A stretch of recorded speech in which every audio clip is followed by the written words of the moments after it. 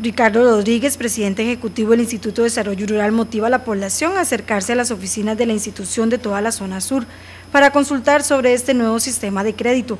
El jerarca dijo que cuenta con un sistema que le permite a los emprendedores de desarrollo tener una tasa fija de un 8%.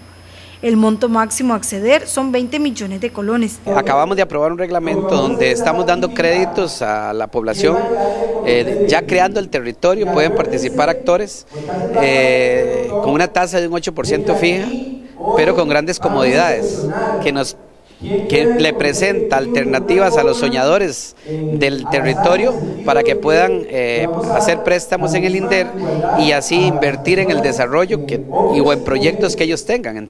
Estos préstamos van dirigidos a proyectos productivos con valor agregado y demás. Pueden ser proyectos productivos, eh, pueden ser proyectos eh, con valor agregado como industriales.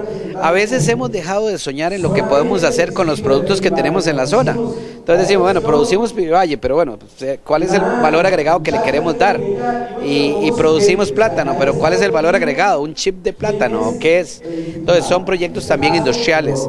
Estamos soñando en que la gente pueda pensar en que tiene el recurso ahí, pero le hace falta una platica y necesita solicitar un préstamo en condiciones eh, favorables y entonces en ese sentido el INDER en estos momentos está poniendo una tasa de interés al 8%, pero con grandes facilidades a cooperativas, asociaciones, personas jurídicas. Los proyectos tienen que poseer rentabilidad para que quien lo solicita sepa que tendrá los recursos para pagarlo posteriormente. Tienen que ser proyectos que de alguna manera nos den la rentabilidad para no embarcar a la gente. Nosotros no queremos convertirnos, convertirnos en, en funcionarios que estamos dando plata y después quitando propiedad, de ninguna manera, ¿verdad? La idea es que estos proyectos verdaderamente tengan un norte claro, tengan de alguna manera la factibilidad y generen ese proceso de, lo que estamos esperando, que es que al final el producto genere bienestar, por ende genere desarrollo en el, en el territorio, en este caso del que estoy en estos momentos, que es Pérez Celedón. Por esa razón se insta a todos los interesados en acercarse a las oficinas y consultar más al respecto.